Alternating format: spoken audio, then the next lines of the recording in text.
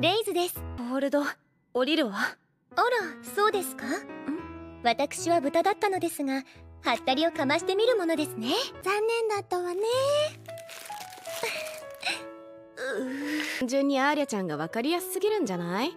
サラシナ先輩お。俺が思っても言わなかったことを。えああなんかごめん。九条妹は意外と表情に出るんだな。もしかしたら九条姉の方が表情は読みにくいか。私も正直あの子の考えは読めないな。サラシナ様お飲み物はいかがですか？いや俺はいい。まだあるし。にしてもその佇まい周王の従者として学んだことなのか？はい。祖父母から習ったものです。ええ。じゃあご両親も？いえ私の両親は会社員です。父母に憧れて望んだことなのでそれだけ祖父母が憧れです。まさしく主にふさわしい方でしたからユキ様は。失言。申し訳ございませんでした。正親様。その目が決まりきってやがる。音を立てないようにするのも従者としてのスキルなのか？はい。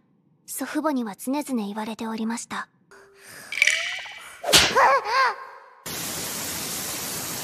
アーリャちゃんにうるさいって怒られちゃったおいおい大丈夫か喧嘩にならないだろうな。ありゃ随分と楽しんでるみたいですし。あらわかる？わかります。